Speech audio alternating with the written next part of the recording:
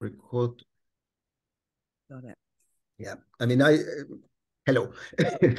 We've already been talking. No, I, I usually do these recordings really um, low tech. Like basically, I um, put a cover slide on what we're recording right now. I don't edit anything um, because I just don't have the time. Um, no, that's absolutely fine. I just wanted to check that my sound level was okay. Wonderful. Okay. Ah, how are you? Really lovely to um, finally have this conversation with you. I, I'm so happy we are, and it's springtime, so there's something bubbling up um, that mm. I'm feeling very energized by, and loving being out in the garden. And yeah, I'm good. Thank you. It's good to see you. Yeah, that's spring is just oh, like spring has been on on its way here in, on Mallorca for for quite some time, and we're actually just sensing into oh this doesn't feel like spring anymore. This is a bit early for for summer heat to come. But um, it's just so lovely to see that like when all that potential that has been sitting there in the darkness um, of the winter suddenly go, goes like the buds start swelling and then oof, the first leaves come out. And I've this spring has been magical for me. So um, really really connect with that. Brilliant. Brilliant we have so much that we could talk about, but I would uh, before we get into whoops ah this doesn't work when you share I'm trying to hold up your book, but the virtual background won't let me. Uh, I, I can do it. Whoa. Ah yeah, that one. You know? that one. so it, before we go into this, I think it would be just lovely to to have you tell your story a bit. I know you've been asked that many times. So I like maybe with a different angle in terms of how did you put strings onto the harp that you're now so eloquently playing with the different stages of your life um, and how did that inner calling develop of just saying yeah like i'm here for a reason I have uniqueness in myself that can be of service to the whole that brought me forth. And um, I'm going to use this opportunity of this lifetime to the best um, that I can use it because that's clearly what you're doing. Um, how how did you get into that regenerative mode of connecting to life's regenerative impulse? Oh, I think a lifetime of curiosity actually has been the breadcrumbs that sort of invited me on this journey. I mean, I really have this sense of, and we talked about this before we started recording, and I've had many, many life lessons where I've gone into the, as my mum used to say when I was getting a bit above myself, get over yourself, just get mm. over yourself. And there was a time um, possibly 20 years ago when I'd realized at that point that I was here to serve in, in some way. And I sort of, you know, fell into that that sense of, of a mission. I'm here to serve, I'm here to serve.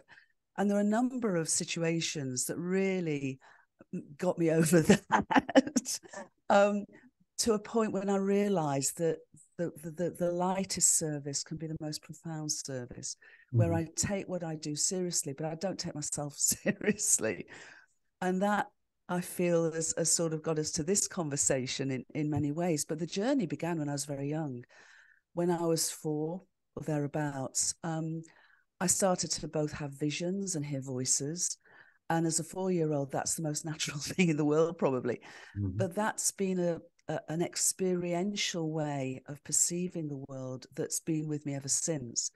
So I sometimes describe it as walking between worlds, but what it's done is it's given me the most incredible journey of of this earth walk for mm. me um, along that journey of curiosity. You know what is the nature of reality? You know the, the, the, the sort of the trivial questions who am i where am i from? Yeah all of that.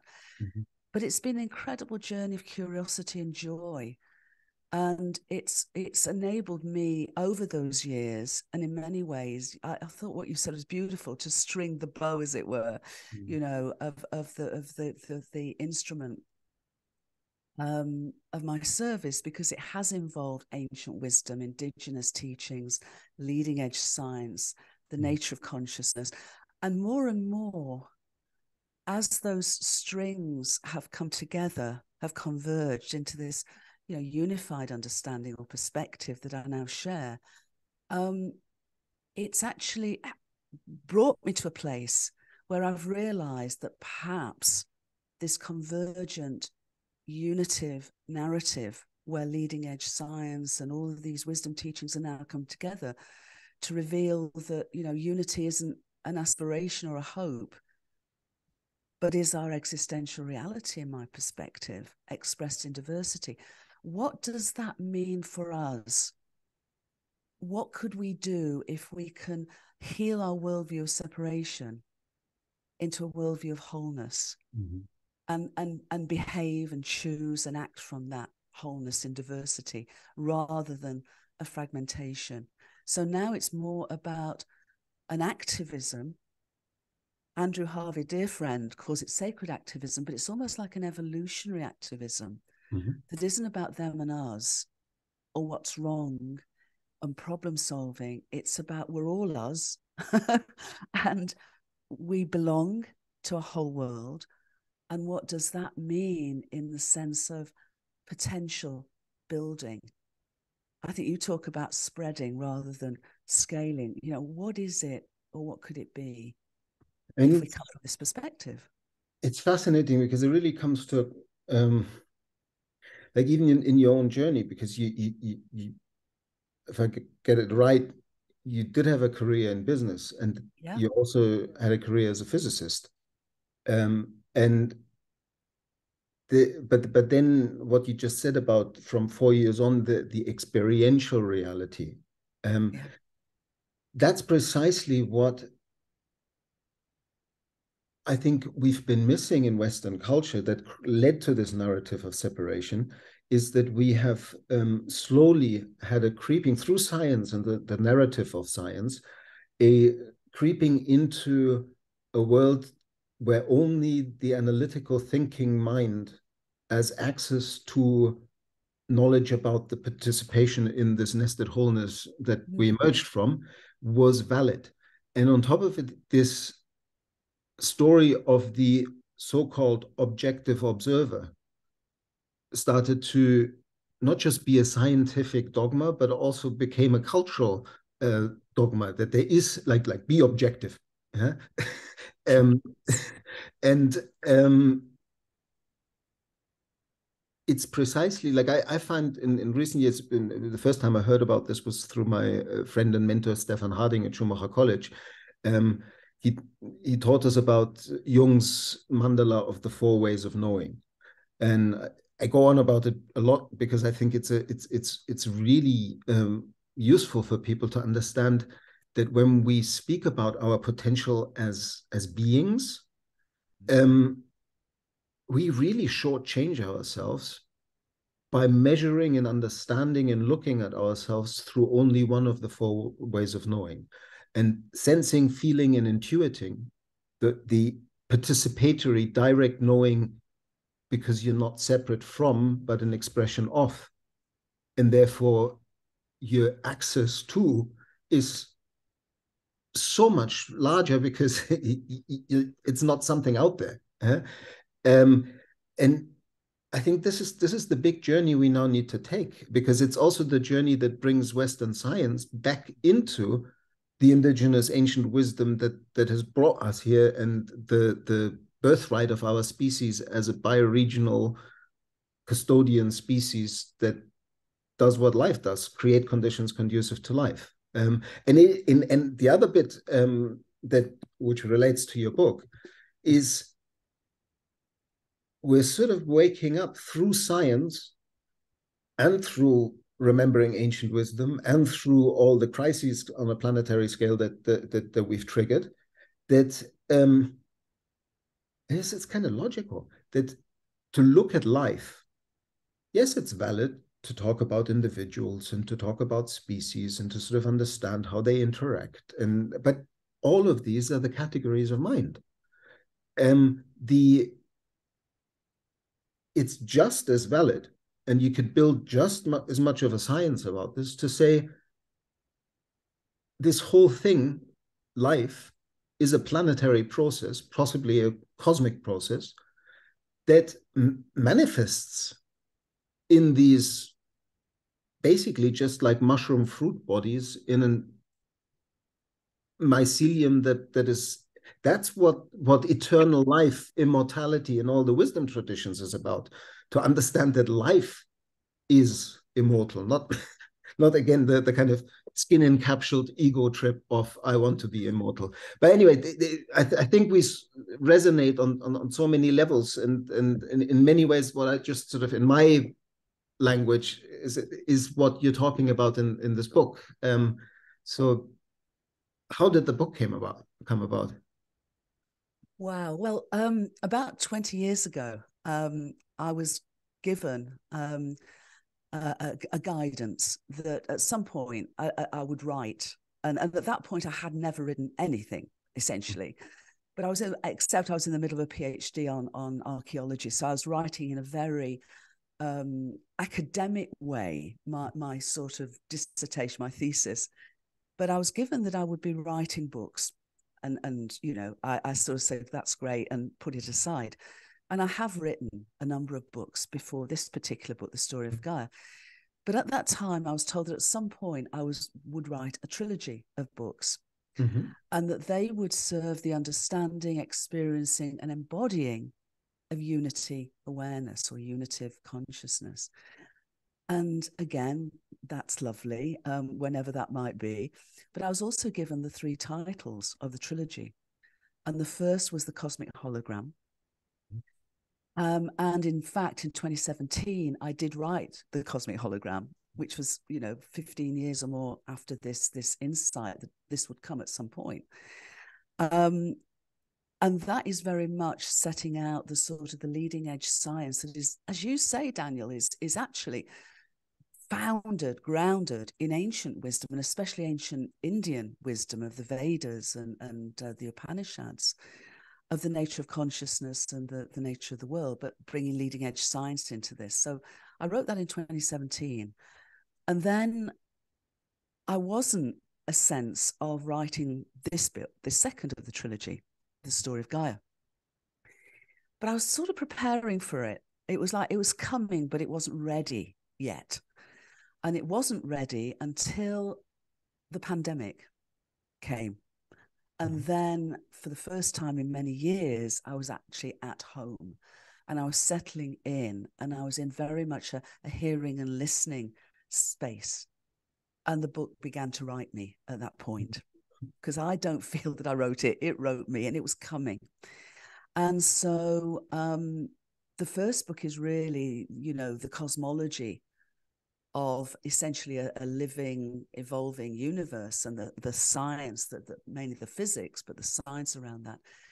But the second book, The Story of Gaia, literally is the story of the evolutionary journey of our entire universe and our planetary home for the last 13.8 billion years from that very first moment of space and time and, and energy and matter that I renamed the Big Breath rather than the Big Bang. But mm. it I began the book loving our world, loving Gaia. I completed the book in awe, in absolute awe of this journey and mm. the wonder of it and the magic of it and the the sheer genius, the sheer genius of a universe that could begin in its simplest form 13.8 billion years ago and has come to this complexity, this incredible abundance of our planetary home and and and to us and, and this conversation now.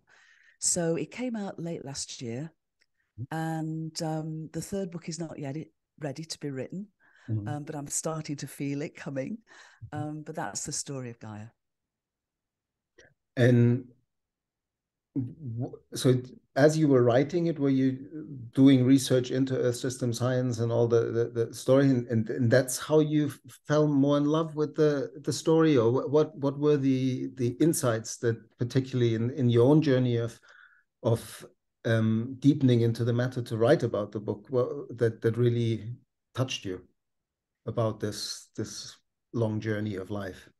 Well I guess it goes back to what I was saying earlier about curiosity. You know, curiosity is my middle name. So that curiosity has sort of taken me down many, many, many different fields of study, as well as the experiencing of, of all that I was mentioning earlier.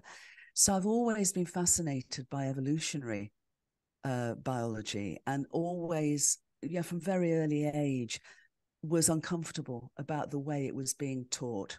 Mm-hmm. You know, the idea that that evolution is is driven by random mutations that never sat well with me and and certainly all the, the the research that i've done over many many years progressively sort of guided me in a different perspective of the nature of evolution and of course systems theory because i've experienced reality essentially as a cosmic hologram as a wholeness multidimensional wholeness all my life systems perspectives, whole systems perspectives, have always again been a natural um, mm-hmm. way for me to perceive the the innate, not just interconnectedness, but foundational unity of, of the whole world, and as is expressed in radical diversity. So for for many many decades before writing the story of Gaia, I'd I'd researched, studied, mm-hmm. um, and followed the, the, the, sort of the emergent understanding of this. Because when I began, of course, and you know this very, very well, the way we experienced the world was not how it has been taught. Mm. So, not just physics, but all the sciences were very siloed, very much based on a reductionist model, very much based on a worldview of, of separation. So, taking things apart to seeing what makes them up rather than realizing that they're inevitably part of a whole. So, it's only been in the last, I don't know, decade, even the last few years, that more and more of the science and the scientific breakthroughs have realized and progressively acknowledged the unity expressed in diversity and it's an as we both know it's an emergent journey. But nonetheless that was why i was able to share these two books mm. because the evidence that underpins them and frames them it has only really been coming forward in the last few years. Yeah well through through those lenses. Um i mean i i did a master's in holistic science in 2001 2002 at schumacher college. And at the time basically that was the intent of that course. When brian goodwin started the course in 1998 um, i think they had in the first year they had two students and we were still in a in a cohort of um, nine students but with stephan harding brian goodwin and a, our spanish or catalan tutor jordi pigem being in every session. And then we had all these visiting teachers bringing in a holistic understanding yeah. of participatory wholeness through angles like Goethean science with Margaret Colquhoun and Henry Bortoft and and Craig Holdrege, or Gaia theory with with James Lovelock and and, and Stephan Harding and um, Tim Lenton and um, and then also complexity science through through Brian's back, uh, background and and so there there was definitely already a um, a set of theories, but now we have more evidence um, to back up those theories. Uh, um, but it's it's a very similar journey in that way. To the, it, it, I just fell in love with, like I was always in love with this nested wholeness that I just like you um, always saw things through dynamic systems, not static systems, no. um, processes within processes, uh, and um, and so it just it, that that's why being a scientist was always so frustrating because it, it literally hurt me physically when after studying elephant seals for three months on an Indian mitten Año Nuevo State Park in California, um, and then having to write about it, I felt I could speak about 10% of what I had experienced and knew because we only had selected those data points and only within those data points could we do the statistical analysis to express everything. And this is the 1990s where in, in field biology if it didn't have a p-value attached to it you couldn't say it. Uh, um, so yeah it's a, it's a, but it's i feel there's an opening is starting to happen now within science. And like I've I've been working with um, Professor Tobias Luthe at ETH Zurich on on a course where we're really trying to bridge exactly this bridge. How do we how do we value the amazing insights that we have in science, and at the same time, like and, and, and the necessity of science as a as a as a means to access intersubjective consensus about the world, but then dethrone it from this false arrogance of it being the only access to the only val valid truth. And um because it's it's a it's a real fine line because other like on the one hand every, like you don't want to go into an everything goes i had a vision now all follow me um but but um you also want to listen to the vision to say maybe maybe it's informative. Let's hold it lightly and see how it, it can inform us in, instead of dismiss it. Because we science has such a strong way and culturally we've absorbed that of very quickly dismissing things that come from that sensing, feeling, intuiting, embodied knowing, direct knowing perspective, that that at the same time, science tells us that that's how scientific insight starts. Like most scientists have this embodied insight first, and then they rationalize it afterwards uh, to tell the scientific story around it.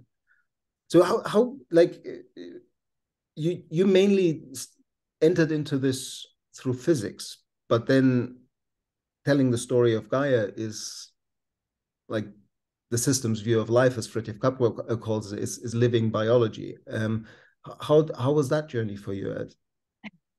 It, it was a very natural and unfolding journey because when I when the the cosmic hologram, when I wrote the cosmic hologram, which was the cosmology of of of a whole world view, essentially, of a living, evolving universe, the evolutionary aspect of it was was not emphasized it was you know that the whole dynamic yes story was there but it was from a cosmological perspective as a container essentially of this wondrous um, experiential world that we we we are participating.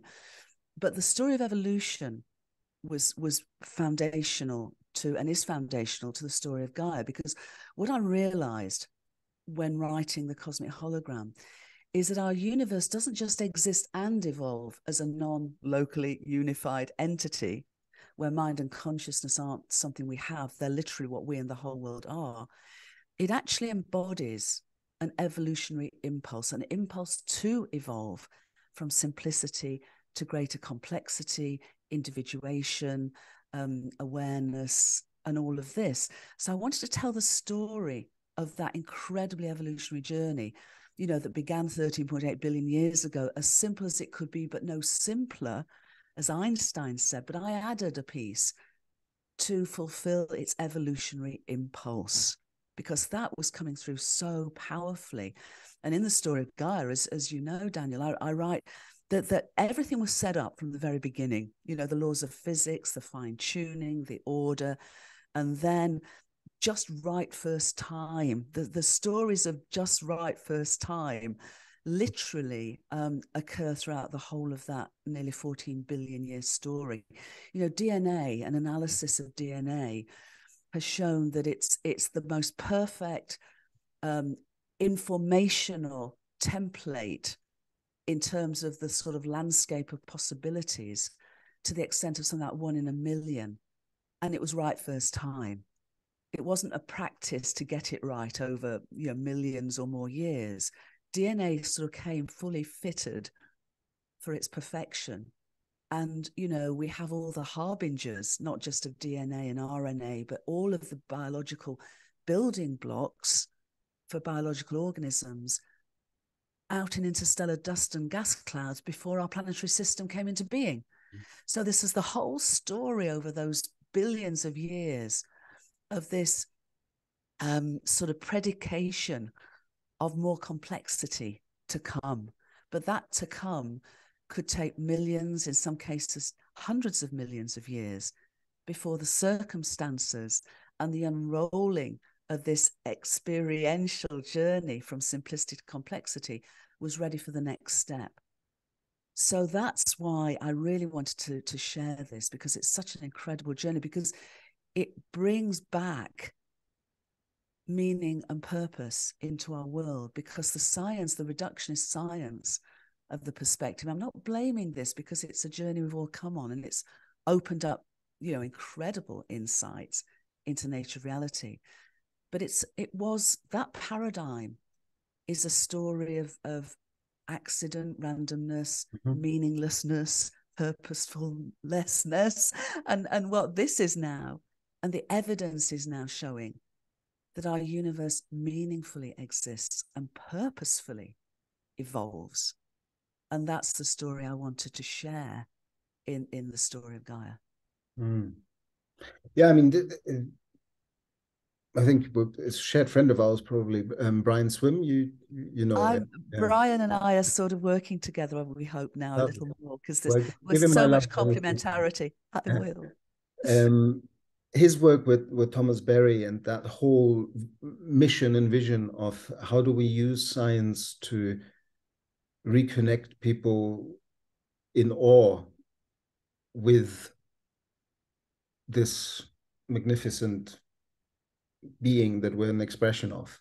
Um, that that's so important work, and and and and it's it's really fascinating to see how um, kind of hard science, research science is now more and more bringing up um, pieces of a puzzle that allows us to tell the story in that way. But but what I what I find interesting is is that um, for me one of the expressions uh, the, or the, the the the more logical reasons for right first time is also that when you think of evolution within the limits of the mental scaffolding that is linear time. Mm.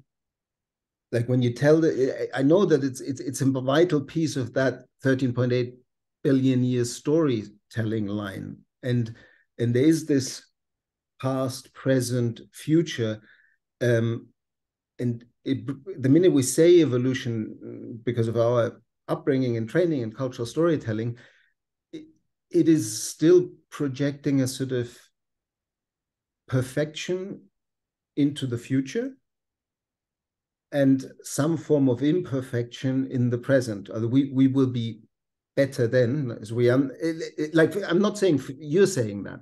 I'm, I'm, I'm just saying, I'm, I'm just saying that that's how it's culturally often mm. understood. Mm. And and what what I'm sometimes I mean this is this is conjecture, but but I feel um, the very notion of time traps us to some extent in flip just as we can flip from understanding life through the storytelling of the individuals and their species and the, the individuals are made up of units and there's like dna in there and all of that yeah um but we can also tell the story of the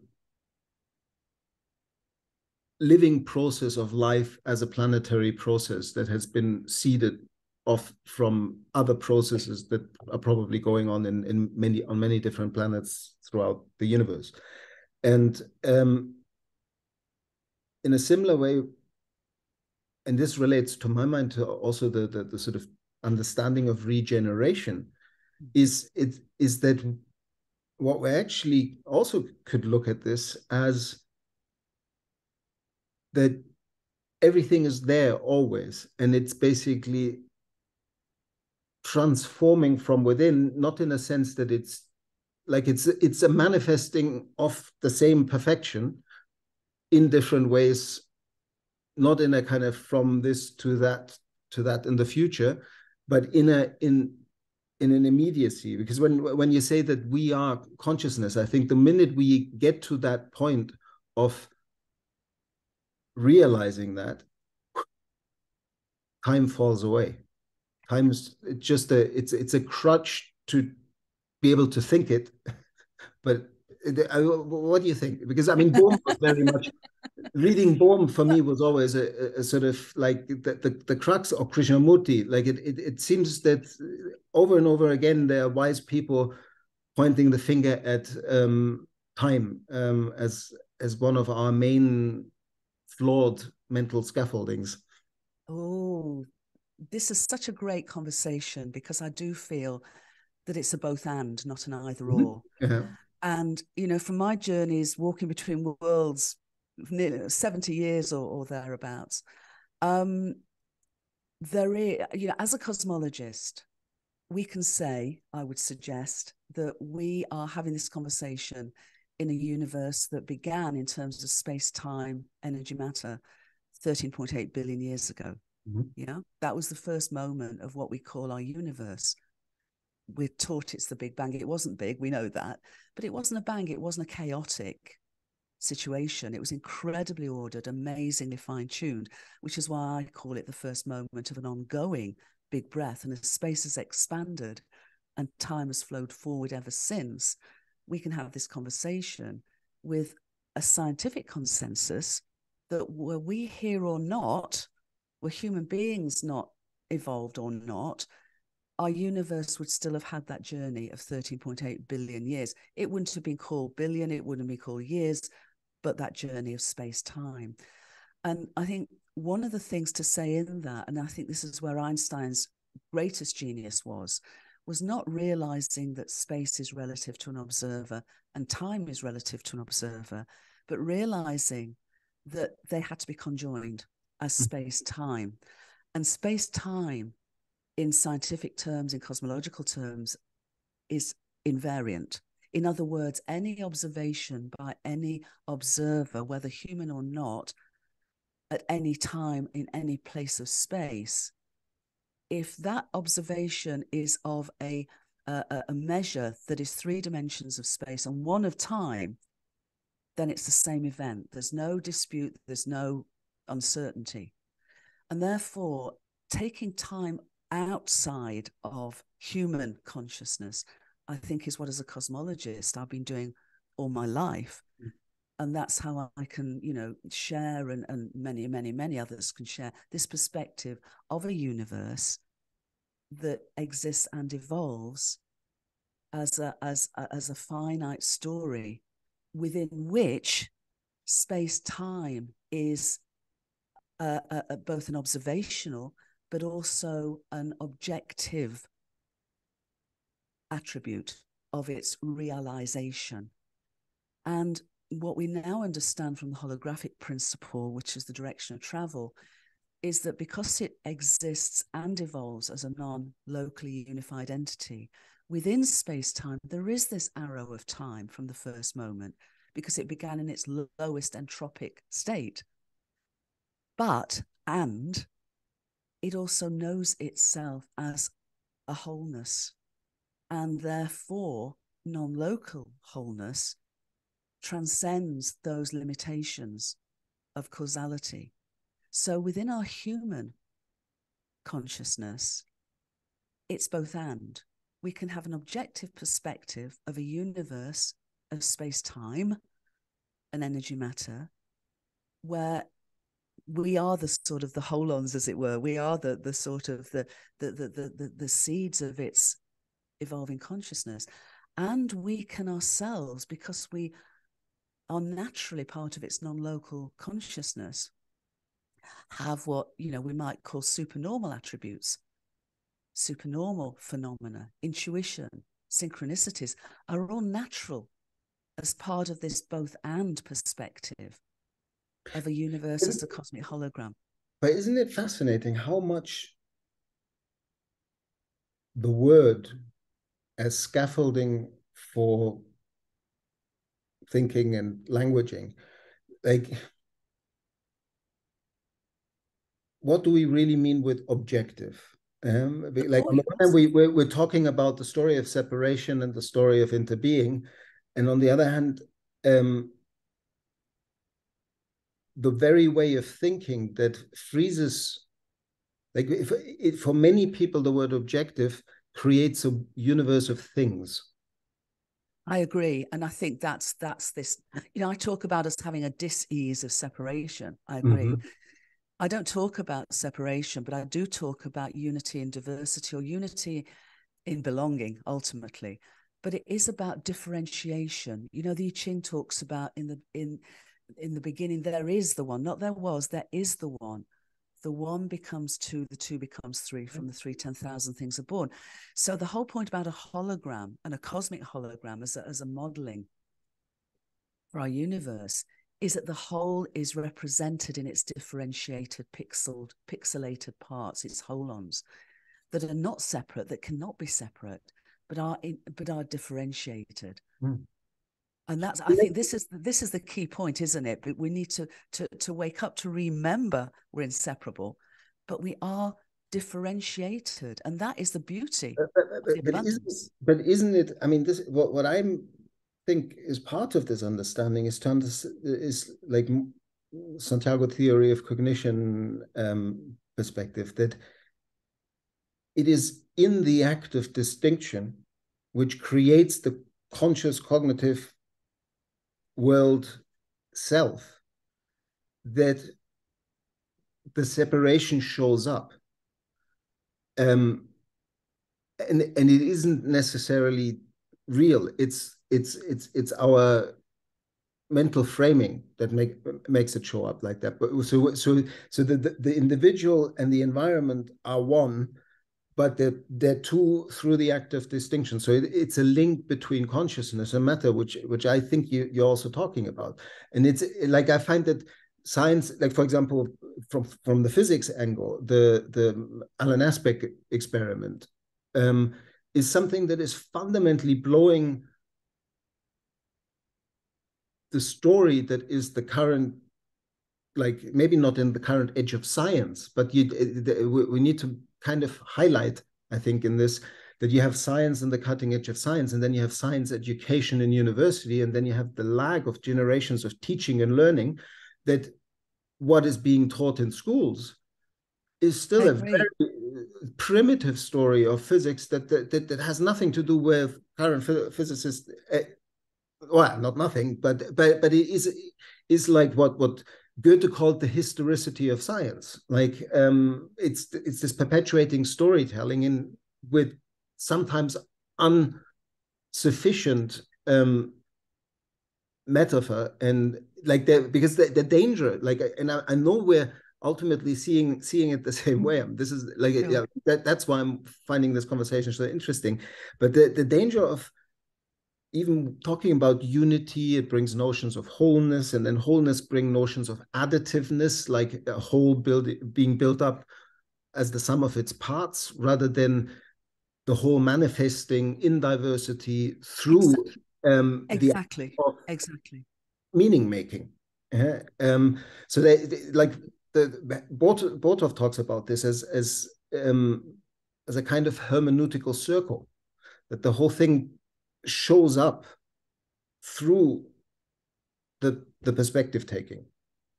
And In, inevitably it does. But what i would say I, I, think to a number of things to respond to what you just said.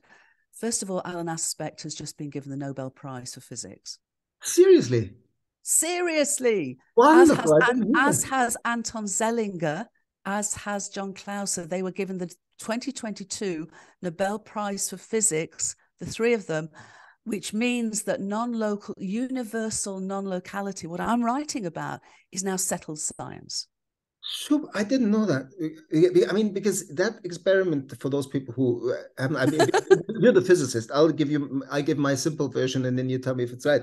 But it's it's a like one of those collider um, where they where they split a particle into they create well they create twin particles essentially. yeah, and, and, and one of them spins one way and the other spins the other way and then it travels out on this arm and when one passes through a really heavy magnet it reverses spin and instantaneously the other that is a kilometer and a half away in in, in this accelerator um, also changes. And and and that makes like again it, it, it also breaks the whole fascination with time because it shows no it doesn't no it doesn't what it shows is that way back when the quantum physicists were realizing that you cannot separate an observer from an from an observation yeah. there's there's a, a rule called bell's inequality mm-hmm. and that means that for quantum mechanics to work at all the whole universe has to be fundamentally entangled, non locally unified. But mm. for years, that was a thought experiment and it was a sort of theoretical, oh, let's push that away. we don't really want to get into this.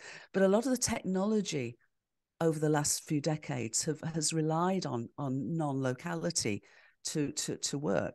And Alan Aspect was one of the pioneers, as you know, in experimentally showing this idea that you've just described of when you create twin particles, you can separate them however far away you can separate them. And you switch the properties of one, and the other will immediately switch without any signaling going between them. Now, that was what Einstein, at way, way back, didn't like. It was one of the it was one of the predictions of quantum physics. Bell's theory said it had to be universal for quantum physics to work at all, but Einstein called it spooky action at a distance because in his physics of space and time, nothing could go faster than the speed limit of light within space time. What we're realizing, it's a both and. That within space time, what we call space time, nothing can go faster than the speed of light, but the appearance of our universe of space time and energy matter is not its fundamental reality. It's it the appearance emerges from a deeper non-physical realm of causation and intelligence, cosmic mind, Einstein would have called it. But the reason that this is so important, that universal non-locality is so important, is that it shows that our universe exists and evolves as a unified entity that knows itself through its whole journey of consciousness and conscious complexity. But within space time, there is causality. There is a cosmic speed limit, the speed of light. But that realization of the both and was what got Aspect, Zeilinger, and Clauser the Nobel Prize for Physics in 2022. So it's now settled science, but it's not an either or, it's a both and. And just to sort of finish on this topic, because it's so cool, I love it, is that um, in 2018, and this is what I, this is an experiment that I write about in the story of Gaia. Teams at uh, a number of universities, including MIT and including Anton Zeilinger, were able to what's called entangle, which was the description you were giving of this, this twin particle switch we're able to entangle photons of light in the laboratory with starlight from 600 light years away, with the whole of that entanglement triggered by light from a, a very active galactic nucleus called a quasar 12.2 billion light years away. So we now have experiments showing non locality at cosmological scales, the theoretical underpinning, which is what I write about in the cosmic hologram, which shows that the appearance of space time and energy matter in complementary ways emerges from this deeper levels of causation, this non local causation, to create a universe as a great thought, as it were, that within its journey of evolutionary uh, complex from simplicity to complexity time is the unfoldment of that. And we can talk more deeply about this, but it all hangs together when it's a both and. What I find, what that just made me think of, um, is something that I would love your, your, your take on, um, because when it comes to regeneration and um, the capacity for systems to move into higher levels of complexity, higher levels of um, bioproductivity and abundance. Um, there's a sort of cold physics story that is the second law of th thermodynamics um,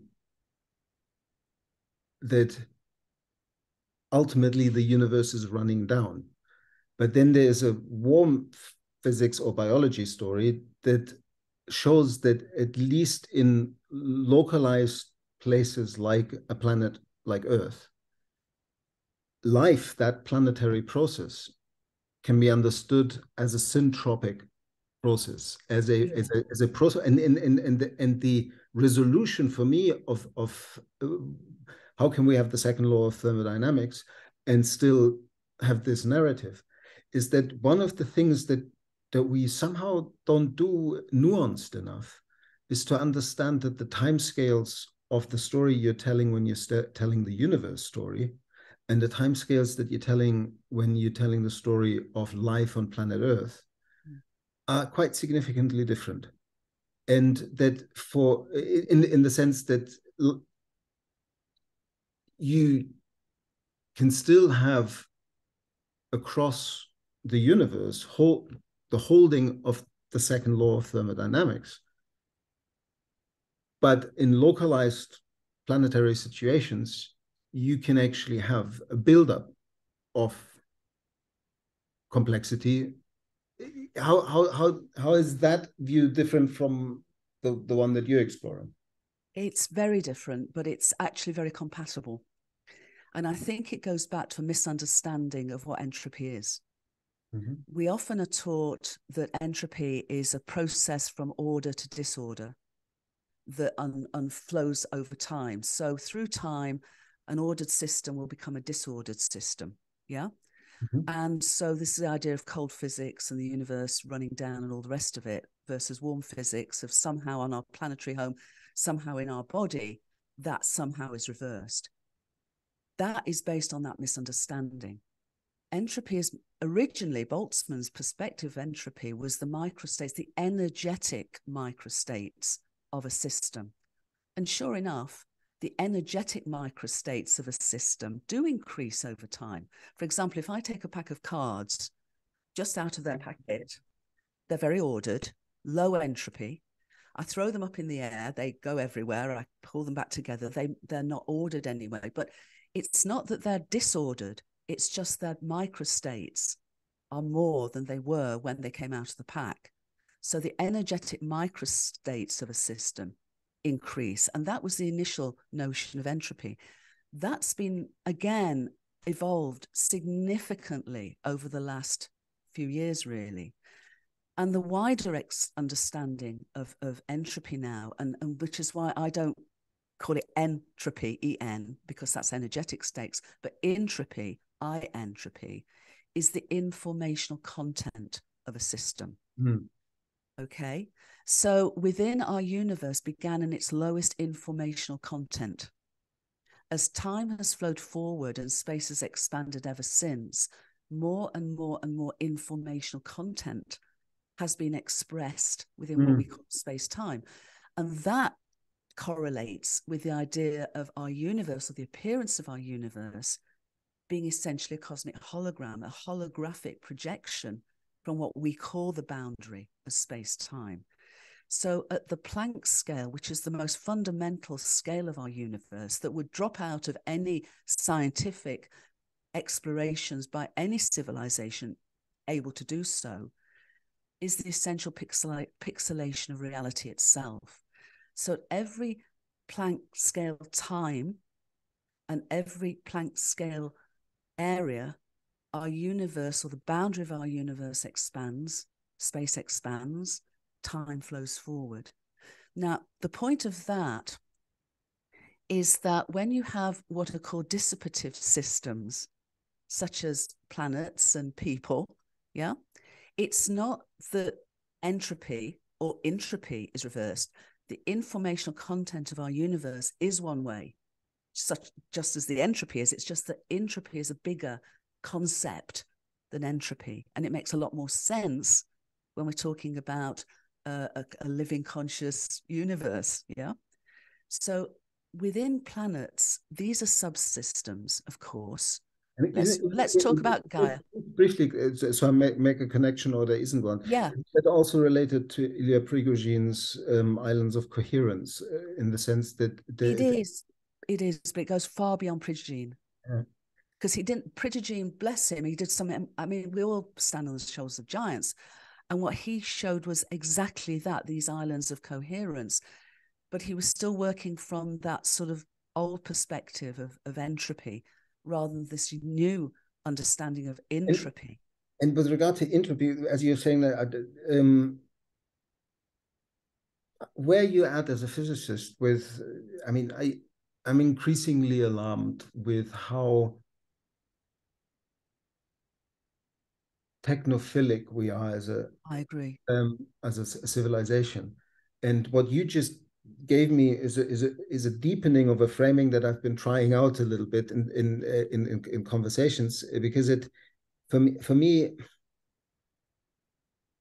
this obsession with ai mm. Just as a thought experiment if we are expressions of a fundamentally interconnected dynamic whole that has been unfolding, unfolding in Bohm's terms um, for 3.8 billion years. And entropy, the cumulative amount of information stored in the differentiation and increasing complexity within this whole that is in many ways just more structured not not separate in any way just uh, this information has structured it over time and created the relational universe the mm. hologram um, it's just ludicrous to think that fractional data set based on cold data and, and so on analyzed through algorithms and ai could match the NI, the natural intelligence, that is stored within that dynamic transforming unity and diversity. It, it, it just feels the wrong way to um, invest energy and it has the danger i mean that just recently heard this alarming statistic that more than 50% of ai researchers believe that there is a 10% or greater chance that humanity will go extinct because AI will have the better of us.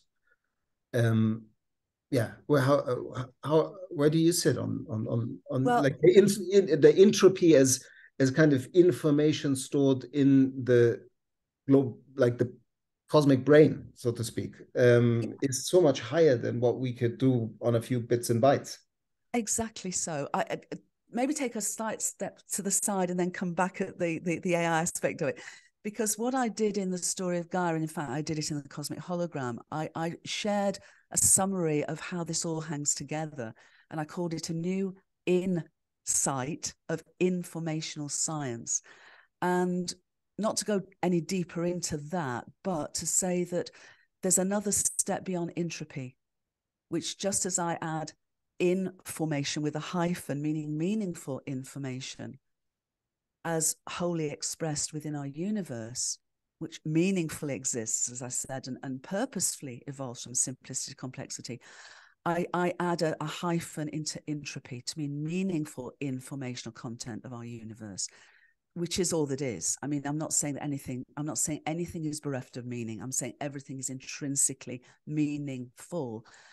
And we're part of this unfolding universe of this evolutionary impulse to ever greater levels of complexity and a realization through individuation of our interbeing, not just interconnectedness or interdependence, but interbeing.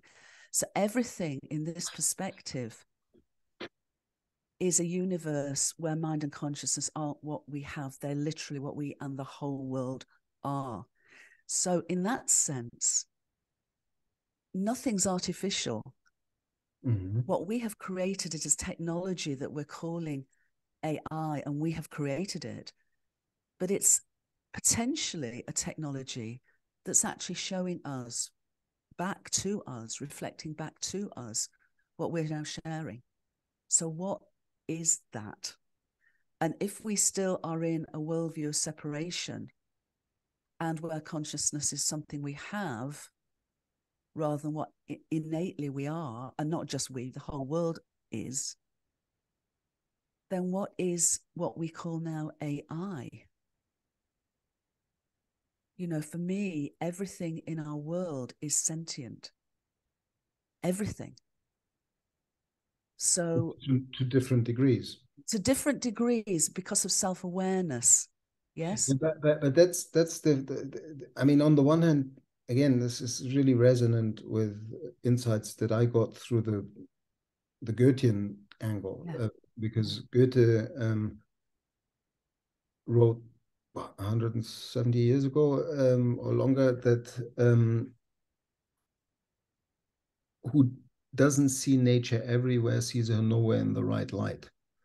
Yeah, I agree. And I've I've meditated on that insight a lot, and particularly with regard to technology. Um, kind of again coming from a physics or biophysics dynamic angle, um, it just doesn't make sense to other something to the extent that it is not life, not exactly. evolution, but that, but I, I say that and then at the same time i say watch out with that framing because we are so technophilic that that will play exactly. into the mind of exactly. the narrative of of mad people like ray kurzweil and hans moravec um, and, and the uh, singularity university that that literally perpetuate this narrative that we are the last carbon-based life form we're going to download consciousness onto a microchip and then be robots who live forever after and they literally think that it's like Ray, the chap that takes too many. I, I agree with you. I agree with you. Because yeah. I, I guess the other thing of this, you know, this perspective is that we have, we are so much more than we think we are. So yeah. much more than we think we are. And we're innately, as, as individuated awarenesses of our whole universe, have access to that awareness, which is what, of course, the, the ancient traditions of, of mystics, the Vedic sages, the rishis perceived. So we have supernormal, as it were, attributes. They're not paranormal, they're not supernatural, but we have them and we're hardly touching the potential but, of our but, awareness. But, but, but that's, yeah.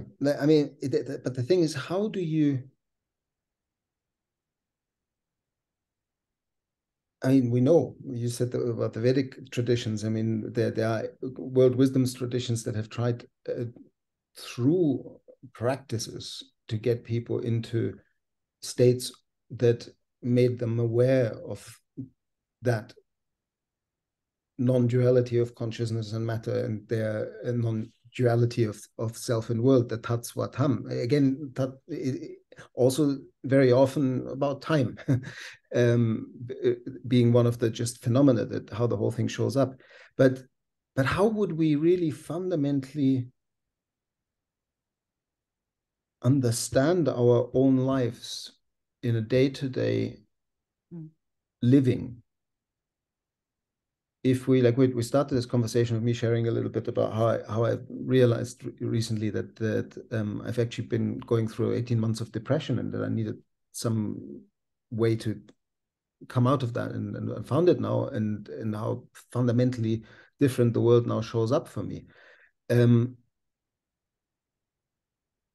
if we really take that worldview to heart then what happens to us in our lives well is is yeah. to some extent um, living out a larger story that we then try, try to storytell into this e egoic limited individual or the journey of daniel wahl from birth to death uh, but and and and like I'm, I'm just wondering to what extent when we flip this through science now this perspective that how would we live if we realized that what we are is life living through us, not some sort of driver in the driver's seat? Uh, um, and how would we take on whatever happens to us as a because right now so many people are we were talking about this earlier many people are burned out uh, or the, or they're depressed because they know too much about the state of the world and can't see um, a way through what we've created as a species um, at the same time, I feel like a, there's a huge shift happening in the world at the moment, and and almost everywhere you look, people are confronted with the breakdown of patterns that no longer serve on their personal level, in their relationships, in their communities, in in um, politics and governance, in in um, finance, uh, economies. Uh, literally, there's a world crumbling around us and another scientific perspective at the edge of chaos the system is its most creative. The, the, in this breathing in and out of the of, of complexity transforming you need these moments of dissolution of patterns that no longer serve. So the next first time right perfect pattern can emerge. Um, how do you see see that relate to all this? Well absolutely. I mean first of all i part of what the work i've been doing really based on the science of cosmic hologram and story of gaia is to work with many folks who have come to this perspective too where you know we have a worldview of separation it's a dis- disease of separation in their own perspectives, they've come to a realization or an understanding or an experience of, of wholeness, of, of unity and diversity. And um, a couple of years ago, I got together with about 150 of these folks who've been working with the United Nations for many, many decades and working on the Sustainable Development Goals and realizing the siloed approach to them, realizing themselves that they're interdependent and interconnected, but nonetheless that the way that they've been moving out in the world is is is really you know taking the pre- the prevalent worldview the prevalent paradigm of uh, and trying to to to make it better. Um, and realizing that also as a species as a human species we tell stories. You know our stories our, our narratives our, our worldview is is really what what moves us in terms of how we behave how we experience the world. As you said daniel you know you've come to a, a, a real turnaround. The world shows up for you very differently now than it did 18 months ago and that is true of many many many different people i think now are sort of turning around and realizing this. But these folks that i was working with we drafted um, something called a unitive narrative which is founded on the science of, of wholeness but is really converging its perspective this perspective as a as a sort of cosmological, planetary, societal basis for to serve hopefully transformational change. And that was brought forward by these change makers and is now being taken up by a number of other organizations around the world as an underpinning and framing for what they do. But three things to add to, to, to this from this unitive perspective, this unity and diversity perspective, is first of all, late last year, at middle of last year, each year the United Nations has a high level political forum in July. And I was invited to present this understanding with others to a group of organizations and, and uh, NGOs and UN affiliates. And from that gathering, by late last year, 16 such organizations founded, came together to present to the United Nations uh, um, uh, uh, pro, to, to, to create what's called a unitive thematic cluster. Mm. And that was adopted by the United Nations last December, I think it was. So, for the first time in 77 years, the United Nations adopted a grouping of organizations founded, underpinned, and framed by this unitive narrative.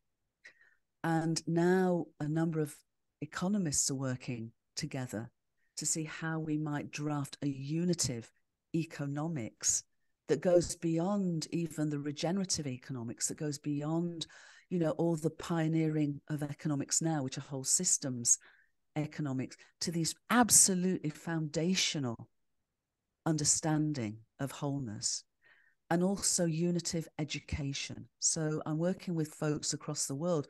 You mentioned earlier about education to bring this unitive understanding into into schools into universities etc we don't have time for that historicity to slowly slowly slowly catch up. And the reason i'm realistically optimistic goes back to what you were saying about the way that gaia has evolved.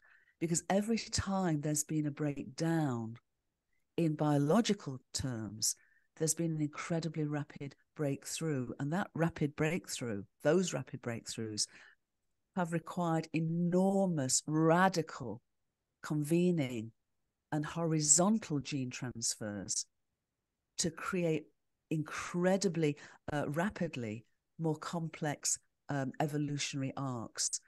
And so, what I'm suggesting now, where we're talking, I hope, about our conscious evolution, rather than our biological evolution is instead of having these incredible convergences of horizontal gene transfer, that this is a horizontal meme transfer.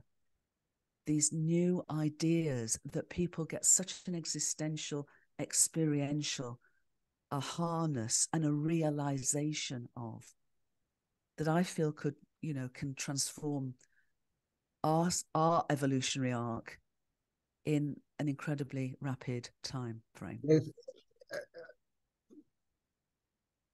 On many levels, I resonate, but I also listen between the word use and the the the perspective. That again not saying you're saying this but in terms of how people um, could misunderstand it I find it dangerous to like the, there's a current misunderstanding of regenerative as some sort of a new adjective that people are now talking about for I, I agree with you. replaced by another adjective and then another. That's that's our kind of uh, how we build uh, our fodder for our neophilia. But if, the way i understand um, regeneration is as a core impulse of life itself that has and I have a wonderful conversation with Fritjof Capra around this um, of, of how basically regeneration is the essence of life self-organization. Um, and and for me the danger of the narrative that that sort of speaks about there's life and gene transfer and that kind of illusion and then there's a consciousness and meme transfer is to which is the the to my mind the flip side, dark side, um, uh, um, blind spot of the conversation about development and evolution that is sort of the spiral that goes up. Yeah, um, that it suggests that all of this doesn't need the immanence in life, that it has to be an embodied, not a transcendental consciousness that that that that like because otherwise we're getting dangerously close to the Kurzweilian thing. No, of that that's uh, absolutely okay. uh, good. Absolutely not what I'm saying at all. And I am agreeing with you. I, I think for me, the definition of life, for me, our universe in its entirety is a living entity. Mm-hmm. So, in essence, all the things that I'm sharing is of that life organizing you know i, I have a, going back to language when we talk about self-organization who is the self that's organizing and mm. so i don't tend to use that terminology because for me it is our universe which is life itself mm. organizing and and and evolving and regenerating and experiencing and exploring mm. this incredible journey that we're all part of but that that is the the that's the Bhagavad Gita, the the the seer and the seen one. Uh, um, and and I mean, this is the the fascinating journey that also like Fritjof in his his life, um, like first being a physicist and then because living in California at the right point of time, all the hippies talking about the ancient wisdom, um, like writing the the Tao of physics as a as a kind of showing that we've been grappling with this for a long time and that we've we've called um, ancient wisdom and knowledge about our participatory the participatory nature of our universe and the bridge between the observer and the observed. We called it primitive because we were so enamored with our reductionist modern science. And and i find that's still something that we need to really watch out. Like on the one hand it's it's it's this fine tightrope the both and the the embracing the paradox um, that that is important to foreground that like it is possible and useful because it creates impact to, to tell this narrative through the scientific storytelling and the scientific evidence and, and everything. But it's also um there, there, there are other of course. wisdom traditions that have had a dynamic participatory understanding of wholeness and um, for whom uncertainty, not knowing, and the paradox of having to be in participation, having agency in this, like uh, the, the paradox of having to act in the face of not knowing what the effect of our actions will actually provoke. Uh, provoke. Um, that's a deep, humbling insight that that everybody who had to live as custodians of ecosystems in place in our species history learned the hard way um, and made sure to pass on from one generation to the next that humility. And and i feel like we're really in danger of of um, spoiling this wonderful evolutionary journey with with our hubris that we think we can technologically solutioneer ourselves out of this mess. I agree with you. I wholeheartedly agree with you. And when you say we, I, I there's, there's an interesting it's, point there. I think there's an interesting point. Who is we? Because this is not you, and this is not me. This is not what you and I are doing. And you know, I've in my lifelong life, I hope I've learned never to speak for anyone else and to realize that only I can make my choices. And this is the choice I'm making to, to share in the way that, you know, we've, we've shared today. Um, and for me, it's all that you say. It, it's, it's science, I think is, is, is a really helpful way of exploring the nature of reality and it has its limitations. And mm. that's why in all my life, all my life, has you know interwoven not just the ancient wisdoms and the and indigenous teachings but my own experiential explorations of all of this and what that's brought me to is a perspective for myself that i don't see it as a paradox mm-hmm. i see it as a multidimensional parallax mm-hmm. yeah. in mm-hmm. other words I'm, I'm, you know from very different directions and i guess what i'm inviting in in, in what i share is is that an invitation of, of that adventure. That's and a lovely the, framing, the para, multi-dimensional parallax. I'm going to because you're right. It's it's an adventure. There's so much not know no thingness of it, not knowingness of it, and yet for me, there's a wondrousness of it, mm. and, and an adventure of it. And I do feel that you know we stand now at the bow wave of our universe together, mm. and you know we are here as its microcosmic co-creators mm-hmm. in many ways it seems to me to serve its potential going forward. Its re continuing regenerative unfoldment and potential going forward. Mm-hmm. um, and and i do feel very I, as i say I, i'm i'm a realistic optimist. I'm an optimistic realist. But i do feel that you said earlier daniel there is so much of a shift happening now Mm. And so I, I, my sense is it, it, it behoves myself to serve that in whatever way I can, not in any impositional sense, but to serve and to invite and um, and to share. Wonderful. I mean, one one thing that I've really taken away from this lovely conversation, thank you for it, um, is that as we collectively move forward in this exploration, um, to at any point in time be mindful that when we say object, objective, time, um, all those all, all those things like I mean basically the work of of um, George Lakoff linguistic framing um, that that second level level observation of understanding that we say the same word but we not necessarily mean the same thing when we're hearing it. And that that is so linked to education. And it's wonderful to hear that you're involved with with this united nations impulse of taking things into education in that way. Is is like we really literally need to um, slow down our explanations of these things enough that we do a loop when the word objective or subjective comes up. And we kind of nuance it in that both and way.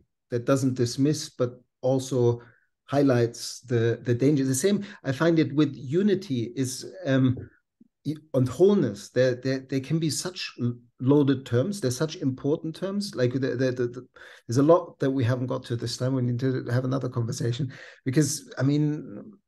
We talked about Einstein, but we didn't talk about uh, Jan Christian Smuts and um, holism and evolution. We talk about Smuts. He's coming up to his centenary. Exactly. So yeah. Jan, Jan is, and now David Bohm is being appreciated far more than than he was. Geddes, is finally like uh, being being recognized as a pioneer of, of yeah. um, bioregional um, urban renewal. Um, and um, I loved you, like um, Marilyn Hamilton shared your um, expansion of Geddes's think global, act locally. Maybe we end with that one. Tell, tell, Tell us about that yeah, one. Um, well, at, at, Whole World View, which I, I co-founded back in 2017, to really share all that we've been exploring today, not just its understanding, but to serve its experiencing and and and, and embodying. And we came up with that expansion. So act local, feel global, and think cosmic. because you know this is the whole cosmos flowing through us. And so it's it's huge it's vast and it's intimate. Wonderful. Thank you so much. This was a lovely conversation and hope we'll meet in person sometime. Let's let's go for a walk in mallorca. Oh that would be wonderful. I'd love that. Thank you daniel. Thank you so much. Lots of love. Bye. Lots of love. Bye for now